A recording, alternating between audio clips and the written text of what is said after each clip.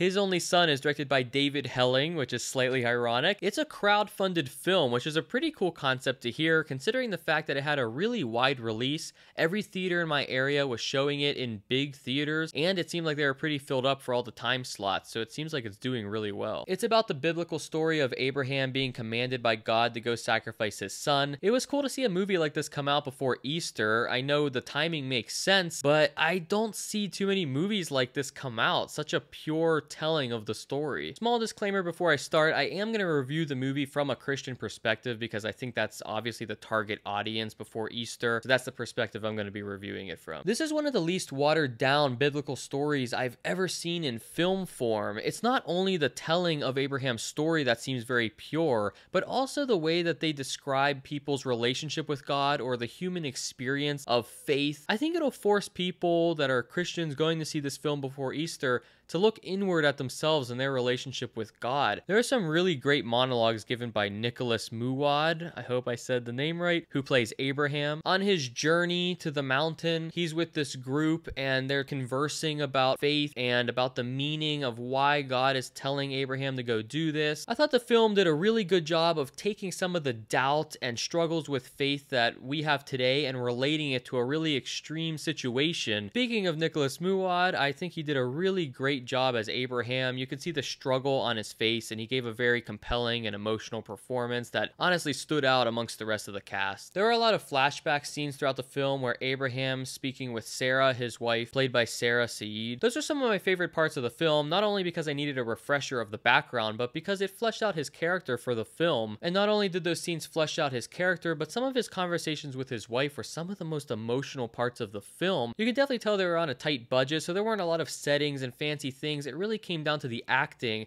And there were a lot of still shots on the actors while they were performing, especially in those scenes between Abraham and his wife. And I thought it definitely showed how great of an emotional performance they were giving, especially Sarah. She did a great job in that role. There was also a really interesting cast of characters that traveled with Abraham. Some people I didn't even know from the biblical story. I thought they gave pretty solid performances. And it might be a little bit nitpicky, but some of the other actors and scenes kind of took me out of the film a little bit. As soon as you get out of that core group, you notice there's some cringy accents and things that are really inconsistent, and the acting ability definitely dropped a little bit. But the reason I say that's nitpicky is because I think this film, at the end of the day, is a very accurate and touching portrayal of this biblical story that I think is a controversial one, but it does a great job of portraying it. It does a great job of keeping you engaged the whole time, especially if you care about the story and it means something to you. So I don't think people are going to this film for an Oscar winning, groundbreaking drama performance. My only issue with the film is something I alluded to earlier about the fact that the flashbacks were some of the most interesting parts of the film. I wish they would have told a story just chronologically, just starting at the beginning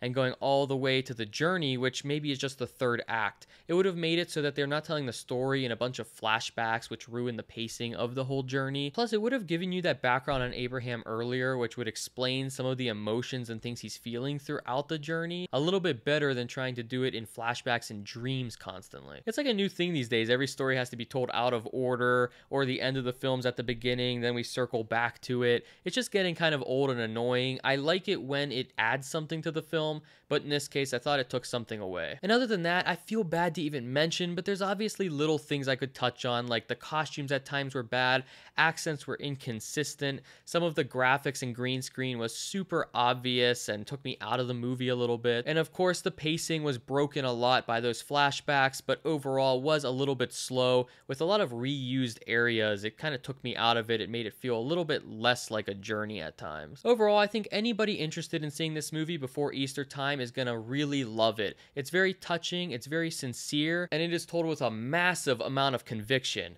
This is not watered down in any way. It is a very solid retelling of the story, but it's also a very deep inward look that it requires of the viewer, and I think it made it all the better for that. This movie would have never seen the light of day if it wasn't crowdfunded. The message is so sincere and it's so not watered down to the point that I think people that are interested in the Bible story are going to be very happy with it.